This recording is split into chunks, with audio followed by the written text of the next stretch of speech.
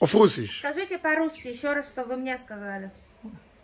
Симочка, вот он не, не знает ни, ру- ни русского. Dieser Jid kommt aus Japarova und sein Name ist Holdman.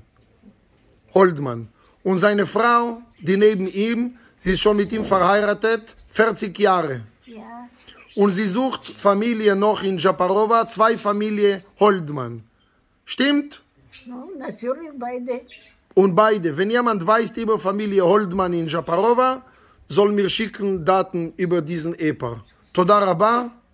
Und soll sie das sagen auch auf Russisch? Скажите еще раз по-русски, что вы мне сказали. Что вы хотели спросить, э, сказать? Скажет, in meinem Schrank, in meinem, Ich will auf Russisch jetzt paar Wörter. В моей комнате, в моем шкафу, в, diesem, в этот момент и фрюер, фрюер, лежит альбом фотографии, где мой муж сфотографирован у памятника, подставленного многим солдатам, погибшим. Денкмаль. Он эрстой фамилии, первая фамилия, Гольдман. э, Борис. Давид, David.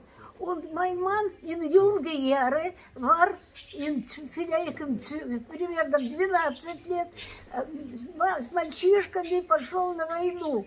И фон Дизе, э, за то, что он участвовал в боевых действиях, работал на военном заводе. У него каждый раз, когда день памяти павшим жертвам, он получал медали. Gibt es zwei Medaillen von äh, K- Krieg. Meine Liebe, ich will nicht jetzt machen Dokumentation. Ich will wissen, wie heißen die Familie in Japarova. Как Damit зовут- sollen wir Как finden. зовут их, этих, которых... Кого зовут? э, Этих семей, которые погибли в За- в Запорожье? Так, das alles geschrieben auf diesem Denkmal. Dieser Denkmal. Auf diesem Denkmal steht geschrieben. Gut, dann fragen wir und vielleicht können wir helfen. Shalom, Shalom.